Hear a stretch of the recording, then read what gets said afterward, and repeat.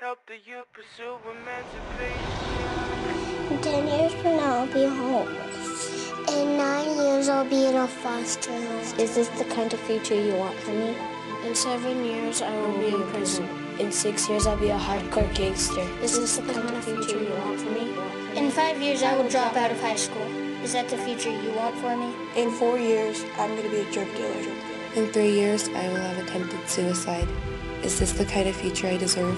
In two years, I'll be addicted. I'll to be meth. addicted to meth. Next year, I'll be locked up for life. Locked up for life. This year, I will die from a drive-by shooting.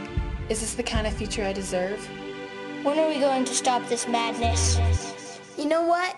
Today I choose to live the hype. Today, I choose to make a difference. Today, I choose. I choose to live the hype. I choose to live the hype. What's your choice?